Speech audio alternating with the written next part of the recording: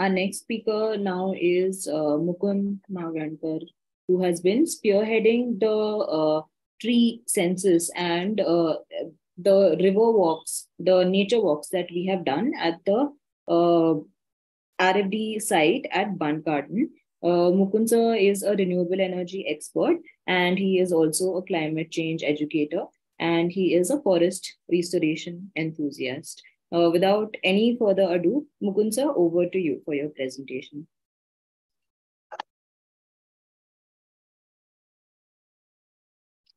Uh, good evening, everybody. Uh, all of you must have realized how fraudulent and how wrong this riverfront development project is. I'll try to say what I have to say within the next five or 10 minutes. Though my presentation was going to be longer, but I'm sure dinner is waiting for all of you. So let me make a try to make it in five minutes.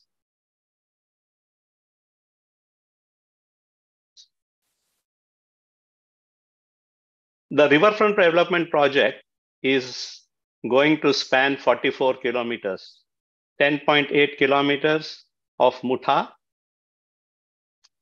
18 kilometers of Mula, and 10 kilometers of Mula Mutha.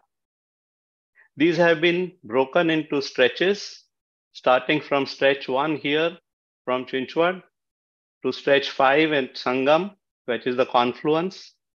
आणि इथनं वारज्यापासनं संगम पर्यंत हे तीन stretches पा सहा सात आणि आठ पाच मुळावरती सहा सात आठ मुठ्यावरती आणि नऊ दहा अकरा nine ten eleven on Mula Mutha And it is laughing. I feel like laughing that we started, this is the outflow.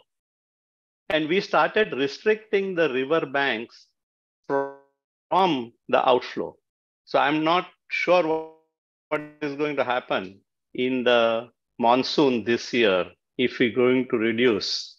However, when you look at the step number nine, there is a very historic island, and it is a heritage island which is called Naik Bet. And I'm going to talk for two minutes on that island. When I came to Pune in 1975, I was told Pune tethe kai une. Today, I feel like saying Pune tethe une tsune.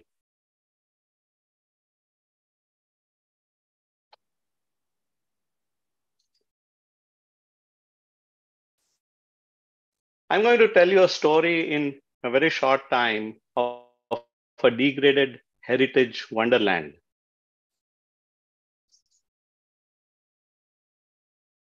This is the Naik Bet as shown in Google Maps.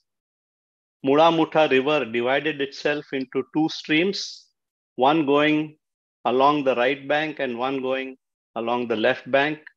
And this Naik Island Actually, it was, there were two islands, one small island and a small rivulet in between and the large island. I had the fortune of visiting this island some 42 years ago.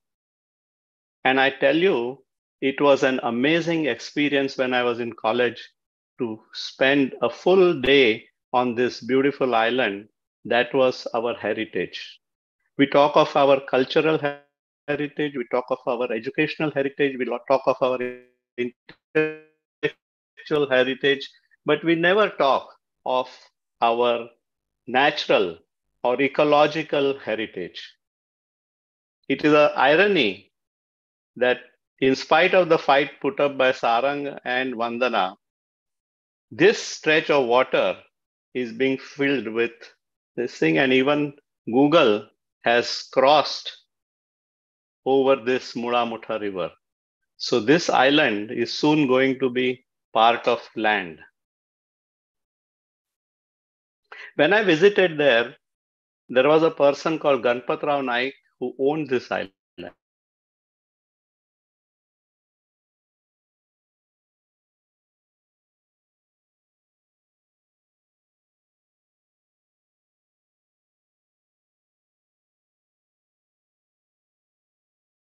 Mm, I think uh, we've lost connection with Mukund sir right now. Uh, his uh, Mukund sir, uh, we'll Sorry? Just, we lost connection with you for a bit over there. Uh, I'm going Okay. to stop your video so that we can continue hearing you and seeing the presentation. You can go ahead. We can hear you now. Okay. Uh, so these are the two islands that I remember, and Ganpat Rao Naik was here, a white-haired man of 65. Uh, he looked after all the trees, and he had planted a lot of coconut trees, and he was proud to tell us, youngsters, adolescent youngsters, that his coconut trees had the maximum yield of in the whole world. His trees bore 1400 to 1500 coconuts per year.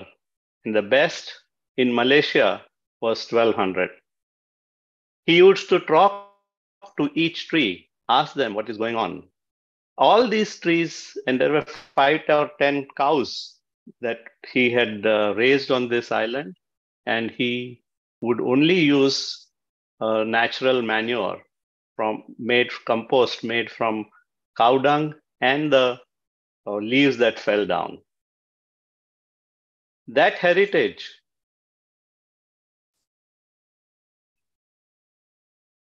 we are going to lose.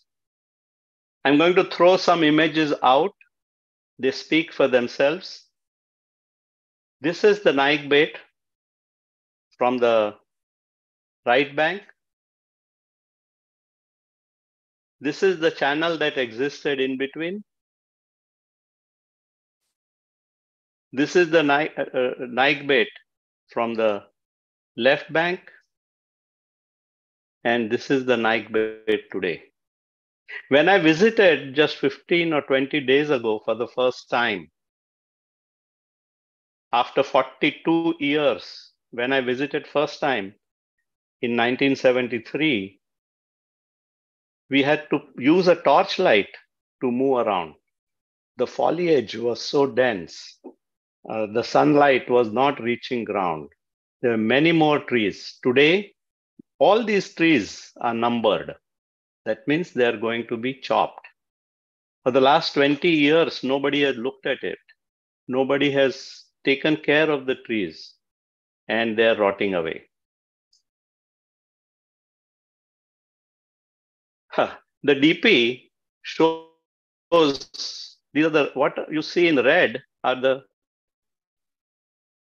bridges shown in the DP. That means they're going to build two bridges, one here and one here, destroying the Naik Bet completely. And we cannot let that happen. Uh, Satya talked about the riparian zone. What the riparian zone does is it protects water erosion, it has amphibian plants, it has larger trees, it absorbs lot of water. It provides habitat to many insects, birds, and uh, small mammals. It protects land from water erosion. And you would see that typically the river should have at least twice the width as the riparian zone. Unfortunately, what is going to happen is here. This is from the Bund Garden Bridge to Sadal Baba Dargah. They have made a model stretch of 300 meters. This patch had 95 riparian trees. These have gone.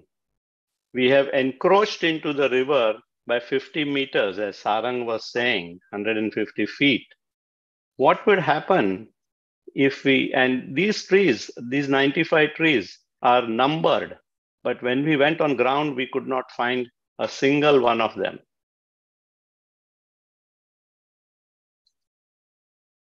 So who should go to jail? I think the municipal corporator, sorry, the municipal commissioner should go to jail for having done this without permission. A similar thing is going to happen on the other bank. See the width of the river has how much it will be reduced. You can see a rich riparian woodland here that is also going to go just to build the lower promenade, the upper promenade, and the continuous public realm. It is just ridiculous. We cannot let it happen. Sarang talked about effect of climate change. I'm also going to talk about climate change and the effect of this project. It's always a two-way process. Effect of a project on climate change and effect of climate change on the project. So Sarang talked about effect of climate change on the project. I'm talking about effect of project on climate change. This project has 2.2 million square meters of construction, which will mean 2 million tons of additional emissions, which is 8% of Pune's annual emissions. Just to absorb this, we would require 8.7 crore trees, 87 million trees, just doing this. Why are we doing this? Why are Pune's liver polluted? The main reason is the sewage outflow. Only 30%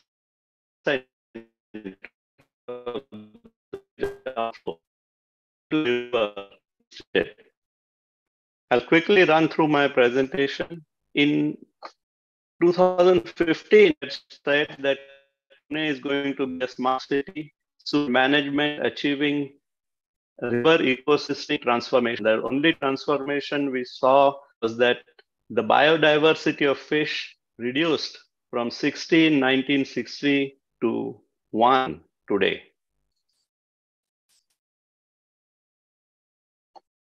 Smart City project also said that 100% sewage will be treated. Nothing happened.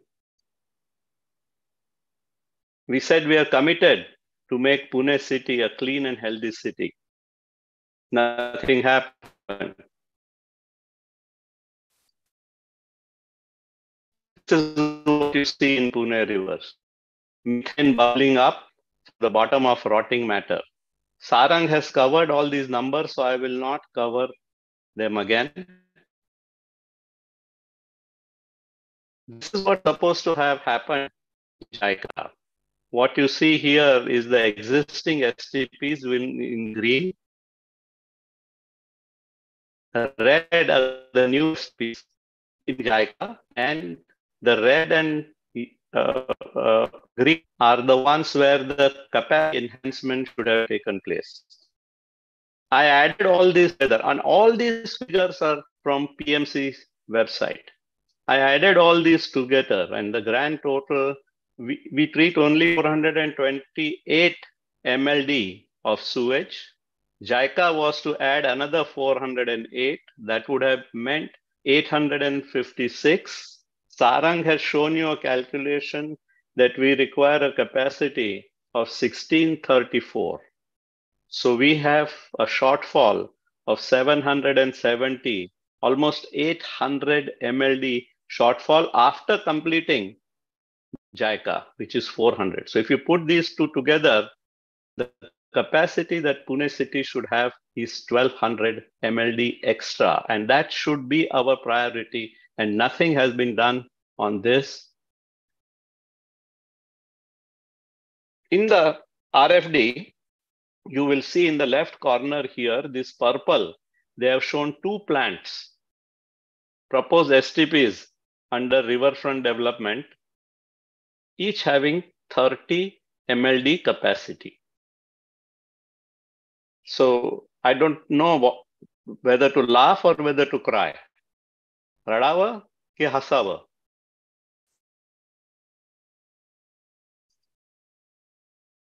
Okay, so let me come to the last part, and important part. Uh, what should we do? make all efforts to force PMC to scrap RFD. This is going to damage Pune irreversibly. This is going to damage the riverine biodiversity irreversibly. This project is going to be killing our rivers. So we must put a halt to it immediately. Let's come on the road. We must demand 100% sewage should be treated before releasing into river. The 11 new STPs to be built, operational and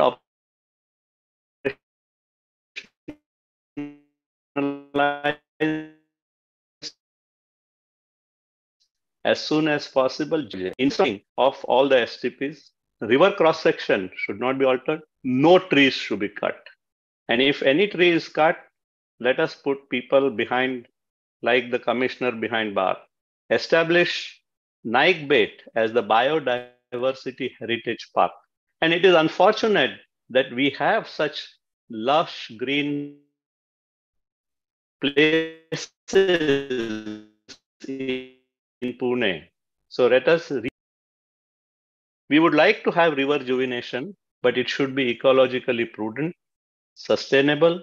It should have the least carbon footprint and local expertise to be used to ensure that we don't keep pouring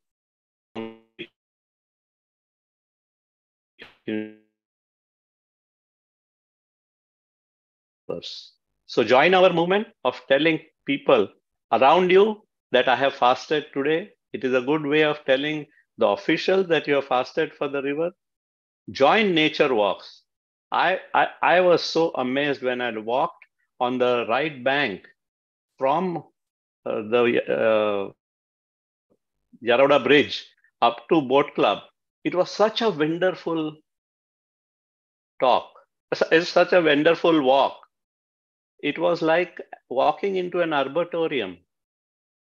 It was a nice currant forest on the right bank, and that is going to be completely wiped out. Arrange for presentations, and I would also like to put at the end our social media ha uh, handles, and I would like to say that using the Impact Guru link, please contribute whatever you can. I would also like to emphasize come and share your protests with us on the road and bring the authorities to stop this project completely. Thank you very much. Thank you, Mukund sir.